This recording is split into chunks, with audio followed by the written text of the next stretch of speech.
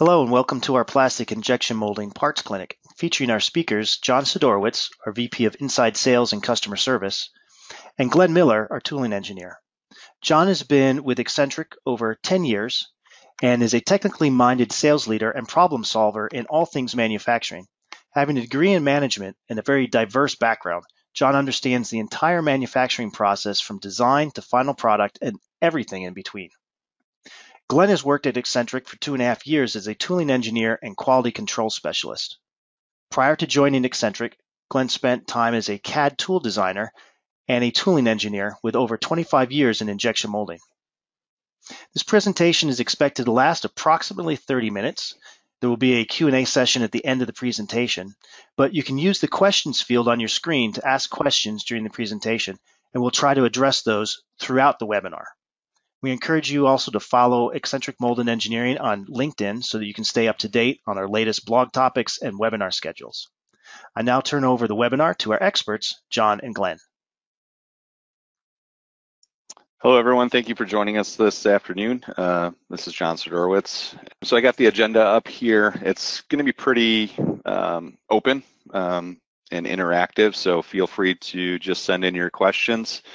Um, so essentially what we're going to do is, is kind of look at a part, um, describe how it's used, uh, show some of the challenges uh, either in design or on the tooling side that we encountered, you know, point out features, um, you know, parting lines or, or things to, to think about when you're designing your parts. Uh, and then go through any questions uh, that you guys have. So we've got about nine parts today.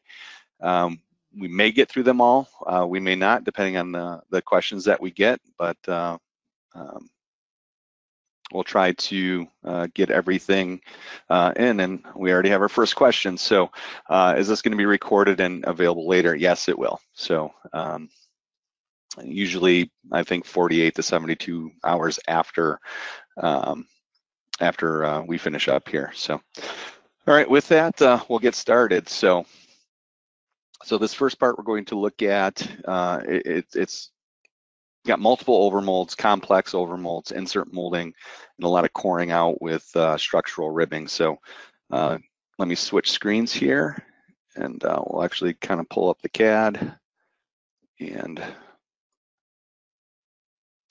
so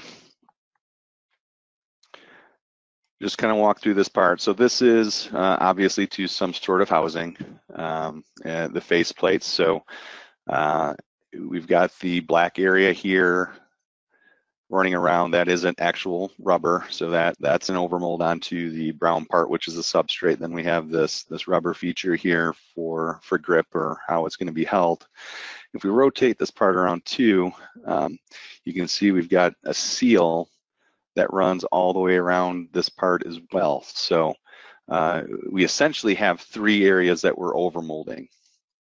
So the challenge with this part was to how do we get material to all three places uh, at one time? Um, otherwise, you'd be looking at multiple tools, uh, four to be exact, one for the substrate, one for each of the three overmolds. So uh, working with the customer, we were able to create these feed systems uh, on the inside here that uh, ultimately, you know, feed through uh, feed through to all three sections and and do this all at uh, one shot.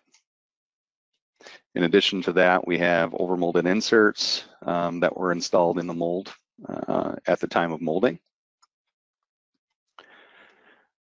But when you're doing overmolds. Uh, you want to find ways, one, to hide your gates. You really don't want gates on the outside, especially on cosmetic parts.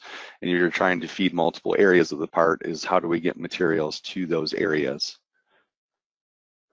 Um, Glenn, I don't know if you have anything. As John said, we, we went back to the customer on this and we, we basically just asked them for um, areas that they could be lenient with the design so we could uh, add filler tracks and access points to uh, mold the overmold plastic in all three areas at once. Otherwise, as John said, you're looking at two, three, four operations to make this part and that really simplified things. So. Um, so if there's any questions or uh, anything, you can just submit them. Otherwise, we'll just go on. We can always come back to them later. Uh, like I said, this is, is pretty open and uh, uh be, it's meant to be more intimate. So let me switch screens here. So our next part is going to be uh, a, custom insert that we had to overmold. So uh, the green part was uh, provided by the customer. It was stainless steel, and the red is what was uh, overmolded on. And that eventually was machined to uh, a different shape. So uh, let's pull up that CAD. And and John, while you're pulling up the CAD, there is a question yeah. about the previous part, and they're asking, oh. was there texture on that first part as well? Um, if I recall correctly, there was a light blast on the the substrate, the the brown part. Here, I can flip back and yeah, that was that's kind of a, a, show part, kind of a, um, a monitor piece. That yes, it did have an amount of texture on that to give it more of a matte finish. Yep. It really won't show up in the CAD, but uh, it did. Uh, all right, so. So that this is a this is a custom overmold piece rather than in some overmolded situations uh, we're simply overmolding uh, a standard off-the-shelf threaded insert or something like that. This is uh, something the customer gave us a custom piece, gave us the CAD model for it, um, including the, the area they wanted overmolding. As John said, this was post machine, so we basically overmolded a tube around the part. Um, we did go back to the customer and ask for some retention features inside the part uh, just to maintain a, a, hold on that overmold material to that substrate, um, which they did and uh, worked out really well. Another highlights just to you know the, the creating shutoffs and, and, ways to hold um, that substrate or that insert in the tool. You know we have a thread feature uh, on this end and not much landing to, to hold this in the tool and, and create a good shut off, but it was enough um, that uh, that we were able to do that. And the other point just to make when we're we're overmolding custom inserts is you know the tolerance of that you know overall length and, and how it fits in the tool because once the tool's built and we fit those inserts we don't have a lot of room. If things uh, have a, a, loose tolerance that's when we run into shut off issues we can experience flash or if it's too big it, it may not fit in the mold or, or smash components of the mold so you really want to have tight tolerances um, looks like we got a question that came in. Can we see some photos of the finished molded parts as well as the CAD? Um, unfortunately not today. Uh, that's a good idea. Uh, we can probably do that maybe the next time around. I, I don't have any pictures of the uh, of the actual parts and how they came out, um, but we'll take that down for an idea for next time. Good question. Any questions on this part?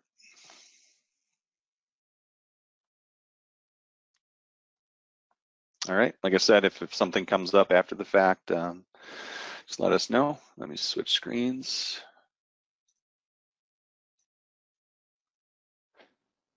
Um, so this part, it's uh, we've got a lot of barbed, um, you know, ports on it. Um, we had, you know, really thick sections that we worked with the customer on, and um, a lot of actions. And this one, we're going to talk more about how we handle barbs and, and parting lines and, and coring out. So Right. When you when you've got barbs on a part, um, the last thing the customer wants on that actual barb feature is any type of flash or any type of seam line. So uh, what we end up doing on these is that uh, it, it's open and close all the way up to the end of the neck area. And when you reach the barb, we have a separate pull that will come off the end of that barb so it can be a clean conical shape without parting lines. Uh, so, you know, as obviously a hose fits over that piece and they want a good seal on that. So that's how we get away with uh, not having a parting line over the barb itself. Now there will be a parting line down the neck of the um, main piece there that joins the rest of the part, but uh, that's the best way to do these barbs. Yeah, so you'd have your parting line across here, but um, being that it's a barb, you do not want the parting line on here, as, as Glenn was saying. So these would be buried into an action or a hand load. An overall part, uh, well designed. Um, you've got a lot of structure there that was cored out. Um, instead of a big solid chunk, obviously it would be a filling and sink nightmare. You've got uh, ribs with good draft on them, uh, good support structure around the piece, um, and this particular design would uh, improve its fill and improve the cosmetic look and the, and the uh, function as well. Correct. Um, we had a question that came in. Uh, do you do overmolds on cables with connectors? Um, we've done it in the past. Uh, usually it's a, a, little bit different process because we're under high pressure, high temperature, and that will typically melt anything. Um, so it's really going to depend. I mean, we've overmolded parts with like bus bars, you know, brass connectors, that type of things we can do. Um, another question, did you use slides for all the size ribs? So in this part, um, all the ribs were actually formed with the core and cavity. All the actions were were on these on these ports. So um, you can imagine the split line going, you know, right to left, and core and cavity opening up and down. Uh, I hope that answers your question.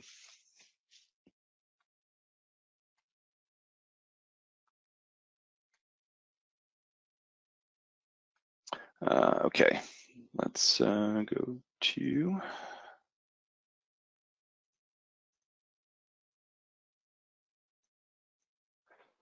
So part four, so this is a, a, pretty long part, about six or seven inches long, had lots of critical features and multiple tiny little actions.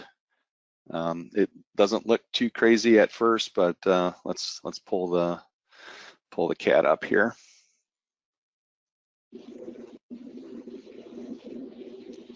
Part four.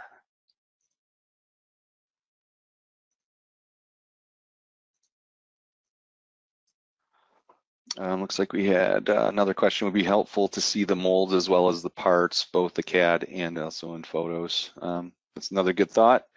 Um, we'll, we'll take note of that and see what we can do for, for the next time. All right, so just a, a quick you know, look down this part. So it's not a, a simple cylinder as it looks. Um, we've got uh, these interesting profiles kind of going through. And then at the top here, um, you know, they kind of come to a head. So all these were, were critical to, you know, tight tolerance um, features. In addition, we have these rectangular holes that, that run all the way, you know, around the part 360 degrees. These are not in any, they're not in the line of draw in any direction. So um, the way this tool was built. It was built standing up, um, meaning parting line, you know, down here. Um, these were all individual hand loads or loose pieces. So you can imagine, you know, I think there was uh, eight of them that ran, maybe 12 that ran around this part, two, four, six, eight of them. Yeah, and every, um, every place that you put a hand load, you, you're going to have a, a, parting line seam, a, a, a mark on the part, which needs to be approved by the customer. So that's all part of the process of here, here's how we can form these uh, radial rectangular features. Um, and we need to get approval on uh, specific parting lines and what they're going to see on their finished part.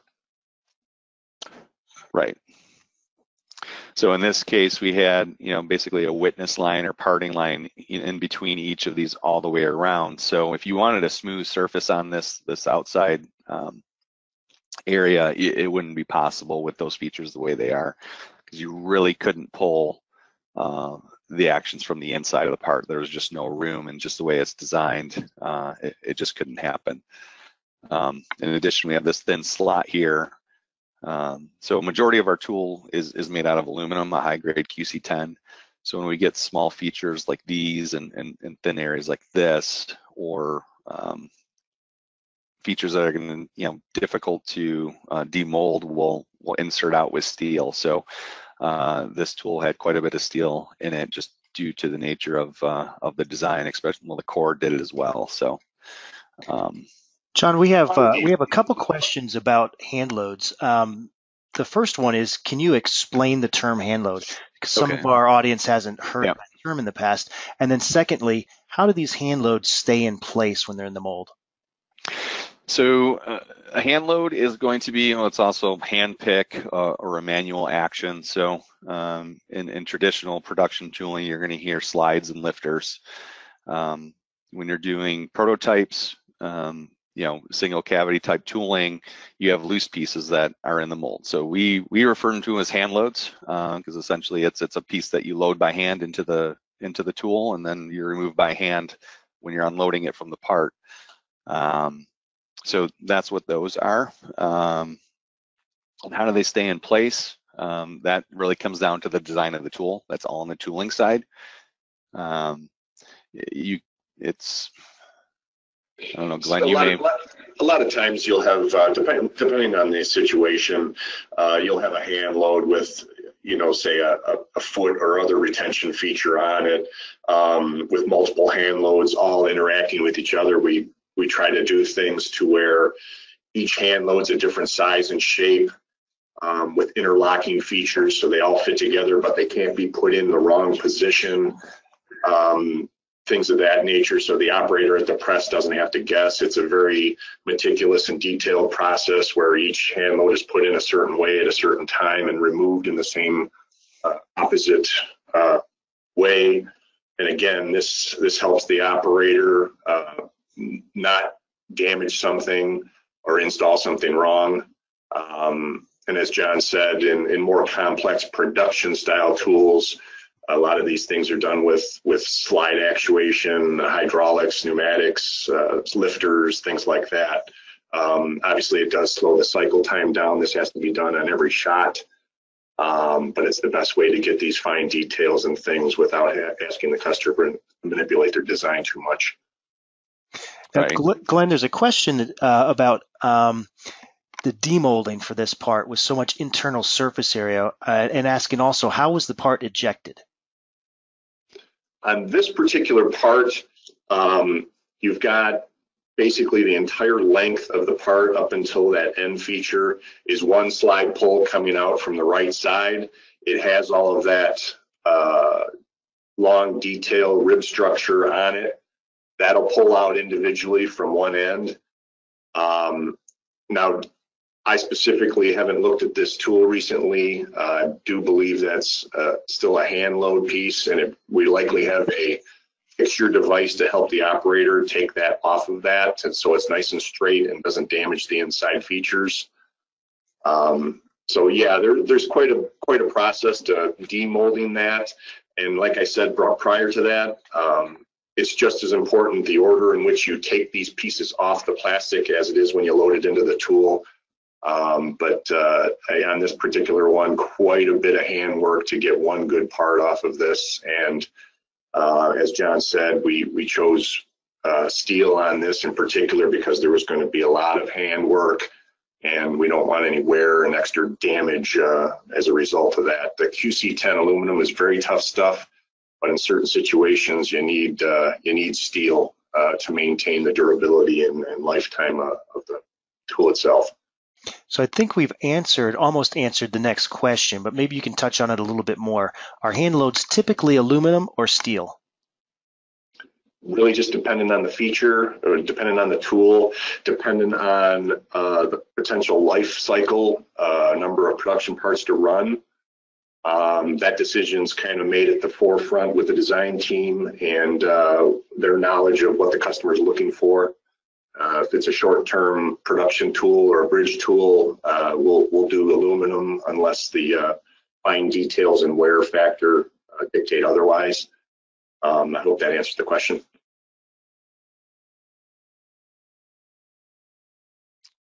all right, let's, um,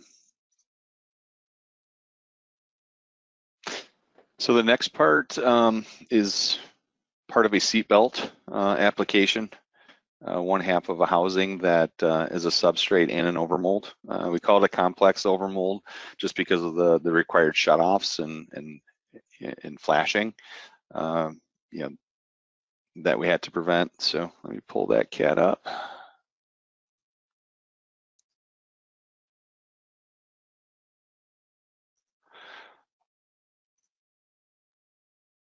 All right.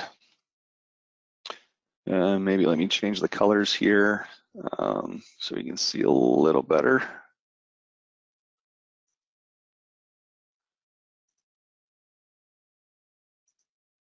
That didn't help.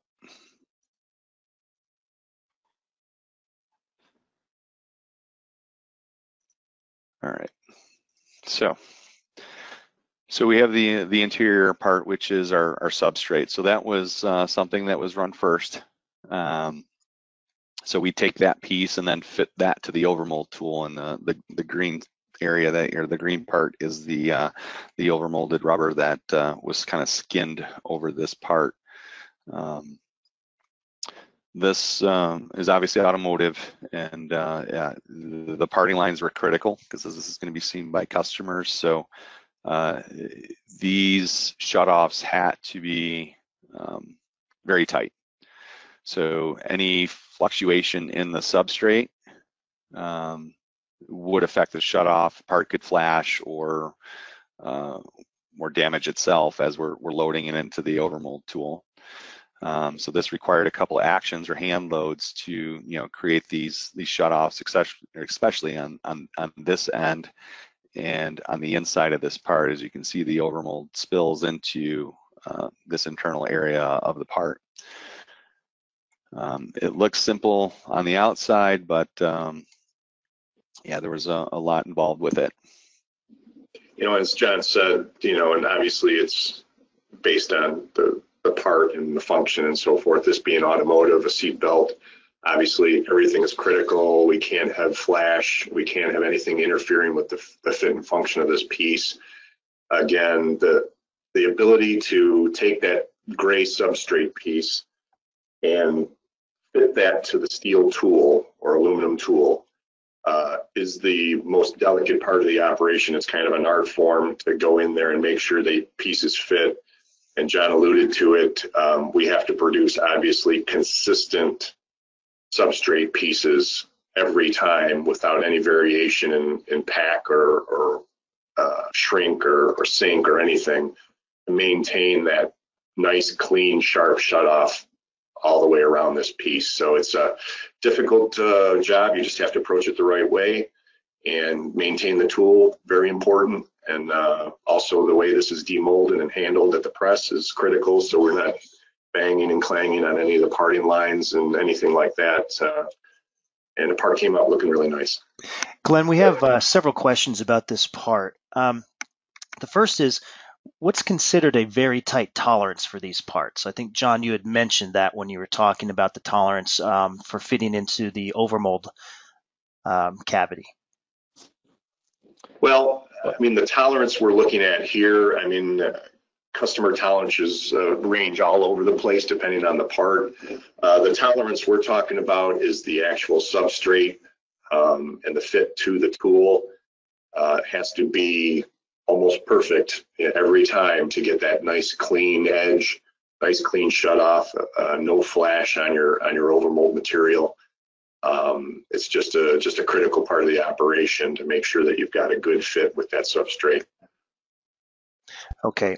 Um, a couple other questions. Um, are the ribs only on the green or also in the gray? Nope. They're I yeah, I think uh, someone asked to to make the the green part transparent, which I did. So um, actually I can show you what the substrate looks um, by itself. Actually, let me do this. So this is what the substrate prior to overmold, what it looks like. So it's just a, a smooth surface. Um, the other challenge with this part was finding a material um, to adhere to the substrate um, because there really isn't any mechanical holds uh, for that overmold except for kind of around this area and over time you don't want peel uh, of that overmold. So uh, we found a material that was matched with their substrate that was uh, chemically bonded to uh, this this gray part. And that's a great segue, John, into another one of the questions. Um, could you touch on some of the types of overmold retention designs that you use and or like the most? And as you mentioned, we don't really see any of those mechanical holds here, but what are some of those that uh, we we see and that work well? I mean, a lot of them are going to be pass-throughs uh, through the part, kind of as we saw on that first one. Um, you know, through holes where you can feed, you know, your gate from the inside of the part and feed the outside of the part for for cosmetic parts. Um, uh, going back to the metal part where we had the groove within the part um, to to hold the plastic from sliding off. I think we've got uh, another one one here. We actually do have uh, on our site, there's probably a, a, webinar you can download about overmolding, which is going to talk about a lot of that and, and, and shut-offs and different types and, and things to look for. Um, but yeah, I, I, don't have a lot of examples to show here, and it's probably easier to show than to uh, speak to. Okay. I mean, some of the some of the mechanical holes can be simple holes and slots with not a whole lot of feature to them. Others, depending on the uh, application may have a kind of a backdrafted dovetail shape to really hold that material back through the substrate and maintain that hold on the part. Uh, really just comes down to the application. A simple groove or a hole or, or access point around the part is generally what we're looking for. Right. Now, there's there's one other question before you guys move on, um, because you've yep. mentioned a couple times about shutoffs, um, and specifically this question is how should a designer consider consider overmold shutoffs? Well, I, I think uh, for us, anytime we can have a nice, sharp, clean line with lot without a lot of uh, ups and downs and in and out and, and different uh, sharp features, uh, radiuses. But basically, like on this this that buckle part, it, it was a very simple outer perimeter, which lended itself to us being able to create a nice clean shutoff. Um, but the simpler that edge uh, of the part, the substrate part, and the tool, the, the sharper and cleaner that edge is, the better it'll be for the molding. Yeah, I mean, we can kind of zoom in here. So this actually had a bit of a groove that we, um, I don't know if you can see. There's actually a groove in here that, that created the shutoff between the, the substrate and the overmold that ran around. The same goes for this side. Um, you can kind of see into here. So that's one way. Um, and then, you know, inside here, it's just a, you know, we can probably just do this.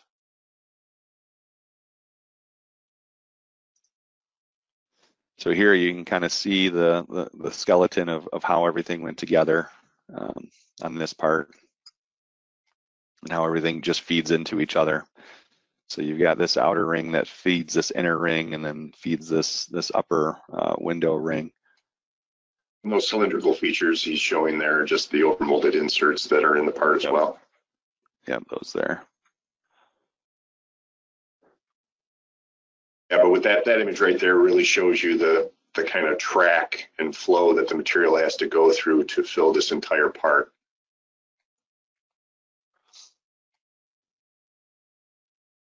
Yep. All right, let me switch screens here. So this next part, I mean, it's nothing too exciting. You know, the, the customer wanted to reduce part weight and um, it's interesting, you know, the, the way it was done and just talk about parting lines. So let me pull that part up.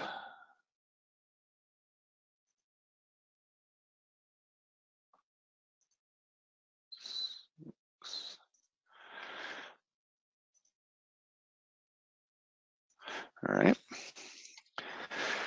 So again, I mean, this part came pretty much as a solid. Uh, it's a it's actually a pretty small part, and the customer needed to to reduce weight. We worked with them and and kind of ended up with this final design. You know, being what it is, we've got you know this this undercut uh, that needed to be created. So with that, we had to have actions or hand loads. Um, and came with that a, a parting line, you know, through the center apart, you know, 180 degrees from each other.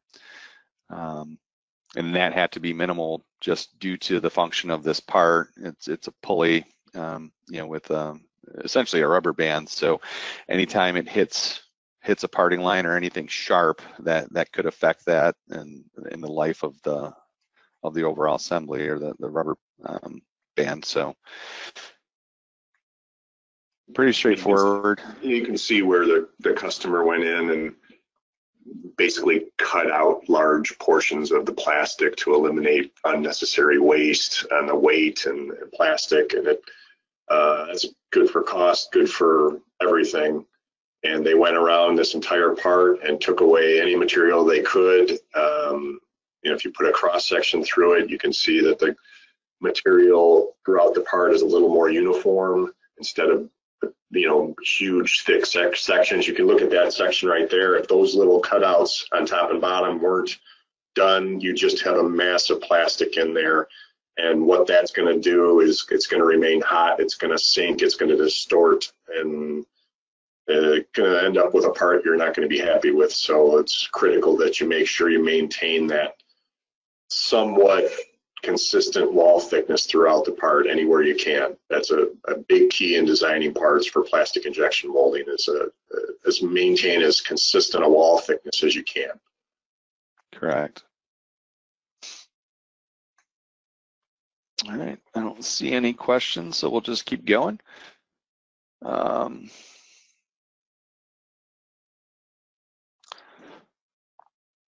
all right, so this next part is um, just kind of showcasing a thread and one way to design your threads and and be creative to get the thread engagement and not have to worry about parting lines, you know, kind of binding up um, when it's mating with the its mating part. So let me pull that one up.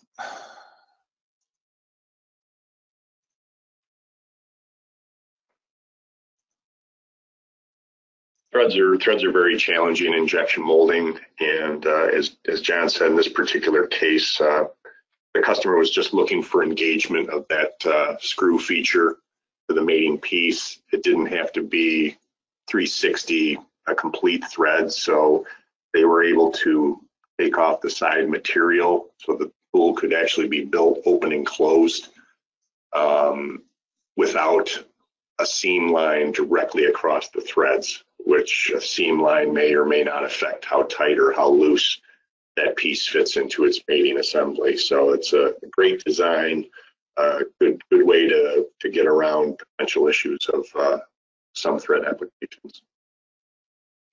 Yeah, and just keep in mind when you're designing threads, uh, they're not designed the same as for metal. So um, plastic has its own set of rules when it comes to threads. Um, there's a lot of information online and, and on our site about that.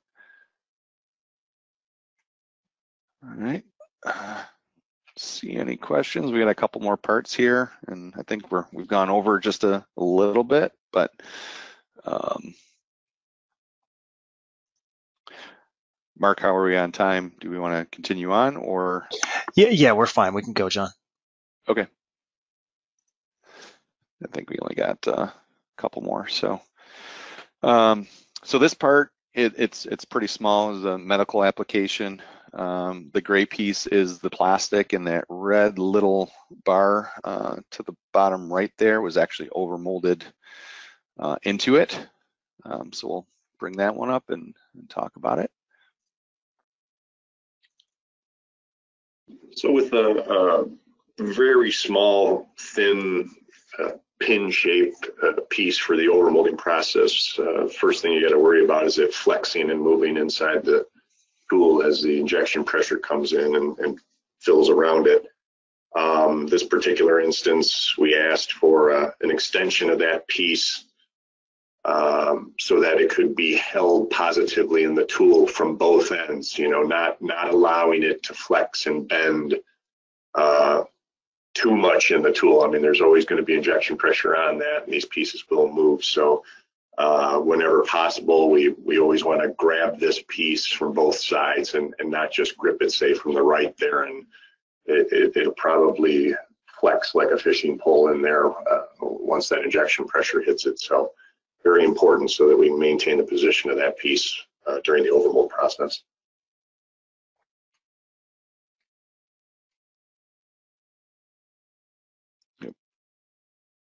All right.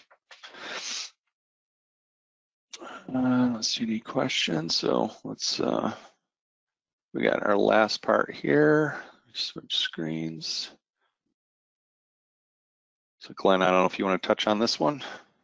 Uh, just a beautiful part, uh, very challenging, but uh, we ended up with a very nice part, very clean, and you can see there's kind of those radial curved fins all the way around with uh, slot openings all the way around the part.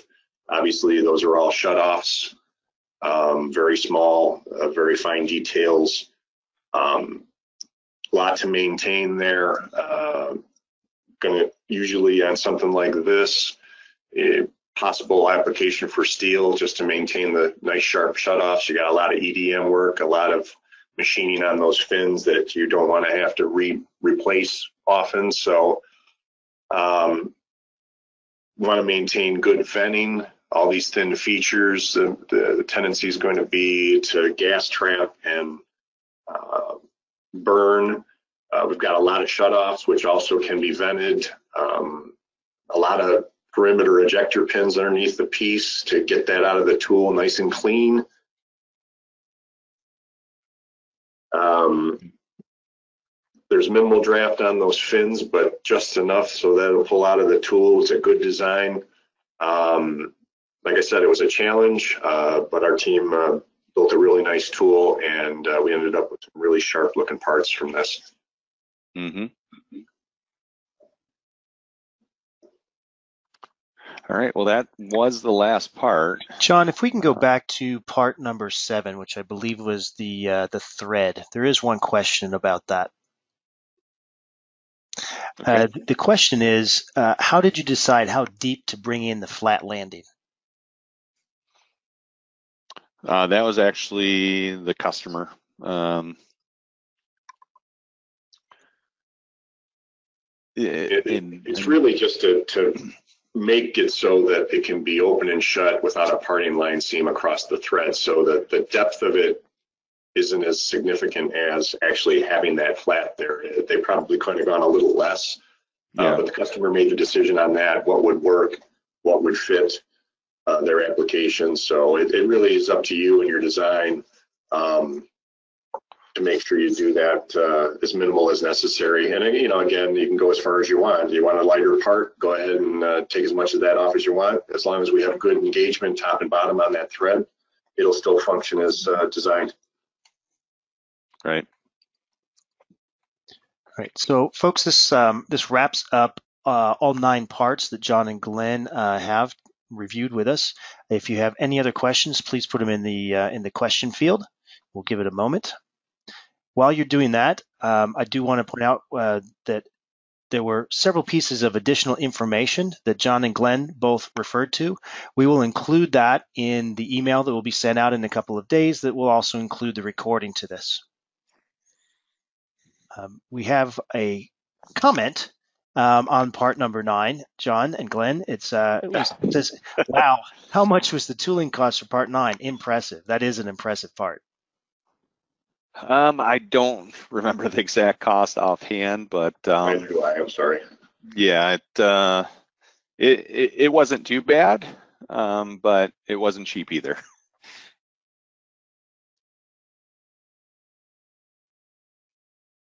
a lot going on on that part. Uh, very fine details on the on the pieces. Steel where necessary, which is more expensive. Uh, just materials and machining and so forth. So, uh, but in the end, uh, customer got a good part here. And they also asked, "Do you remember what the cycle time was on that part?" It wasn't actually too bad. I mean, it's it's pretty much open close. There was no actions. If we're still talking about part number nine, Yes. um, you know, it was it was probably under a minute. Uh, yeah, I would I would say anywhere from 45 seconds to a minute, maybe something in that range. Now, in regards to the other one with the eight nine hand loads, that was a little bit different. That was a, a couple minute one.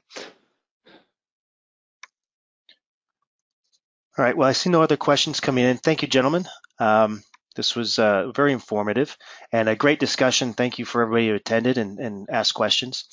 We want to thank you again for joining us. Uh, we will be sending out a link to the recording within uh, a couple of days. And as I said, I will also make sure that we include links to the additional information that John and Glenn uh, mentioned. Um, if you have any questions about today's topic uh, after we, uh, we close, please make sure you email us at info at xcentricmold.com. Also be sure to follow us on LinkedIn so that you can you'll be getting um, updates on our additional um, future webinars and um, and blogs. Have a great day, everybody.